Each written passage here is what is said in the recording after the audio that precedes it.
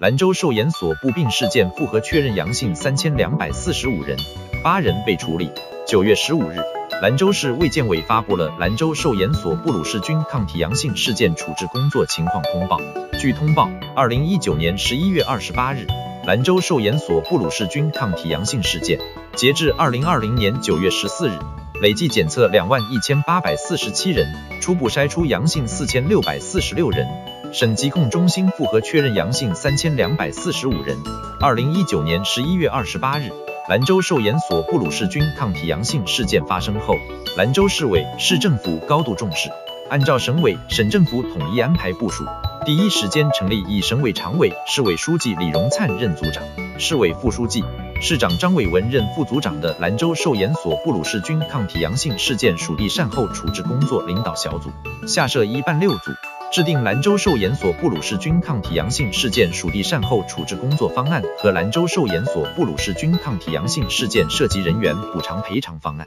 全力开展属地善后处置工作。